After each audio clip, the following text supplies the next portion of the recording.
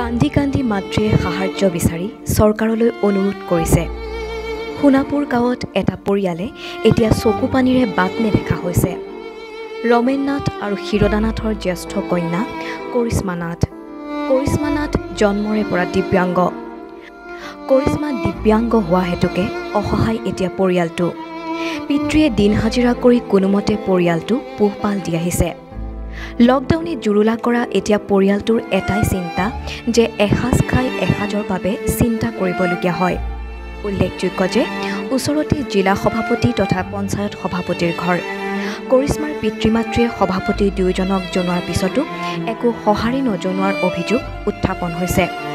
বহুবাৰ স্থানীয় বিধায়কক নথি পত্ৰ দিছে যদিও একো সুফল নাপালে ভুক্তভোগী পৰিয়ালটোৱে। বিকলাংগ? জন্মৰ পৰা হৈছে জন্মৰ পৰা হৈছে। একো সহায় পোৱা নাই এতিয়ালৈকে। আহ, মানে কাম- বিকলাংগৰ শুনি আছোঁ মানে গোটাই মানে আহ কিবা কিবি আহ বুলি। আমি এতিয়ালৈকে সহায় পোৱা ক'ত জমা দিছিলে আপোনালোকে? জমাতে দিছোঁ কমলপুৰত। কমলপুৰত দিছিলে। বিধায়কক কিবা কৈছিলে নেকি? কৈছিলোঁ কোনো একো মানে কাগজ চাগজ জমা দিছিলোঁ একো দিয়া নাই এতিয়ালৈকে। এতিয়ালৈকে পোৱা নাই একো। কেতিয়া জমা দিছিলে? দেৰি হ'ল তেতিয়া।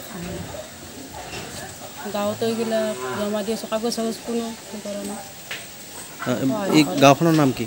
সোণাপুৰ। সোণাপুৰ। এই গাঁওখনৰ নাম? সোণাপুৰ। স্কুলত যায়নে?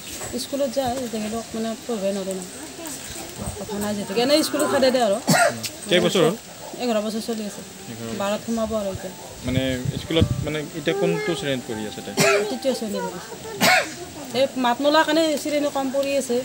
এইটো শ্ৰেণীতে ৰাখিছোঁ বাৰে বাৰে। মাইনাটো জন্মৰ পৰাই বিকলাংগা আৰু চব মানুহে জানে সোণাপুৰ এনেকুৱা বুলি। সহায় পোৱা নাই একো সহায় পোৱা নাই।